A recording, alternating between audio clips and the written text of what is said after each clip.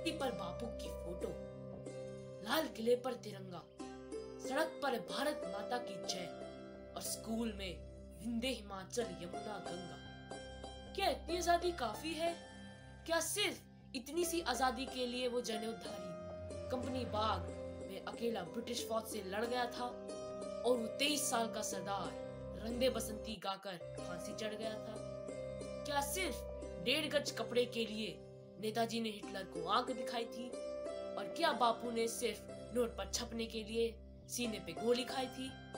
बहुत आँसू बहा लिए उन वीर गाथाओं पर।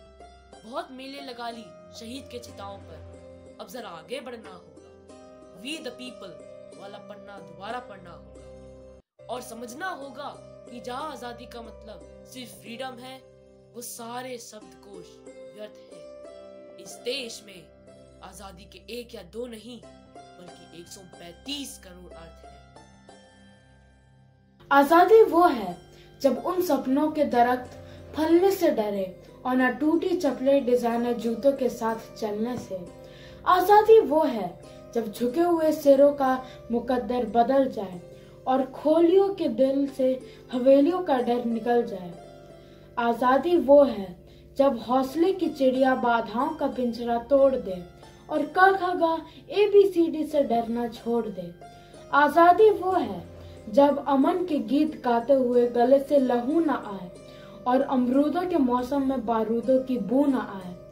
कब तक इतिहास पर जमे धूल माथे पर लगाते रहेंगे? अमर जवान ज्योति को जलाए रखना है तो उसकी जड़ों में नया ईंधन भरना होगा। सैतालीस का सब्सक्रिप्शन 22 में रिन्यू करना होगा। बेखौफ जीना हमारा हक है और यह हक बुनियादी है। घबराओ मत, बढ़ते रहो। बस थोड़ी दूर आगे मोड़ पर आज़ादी है।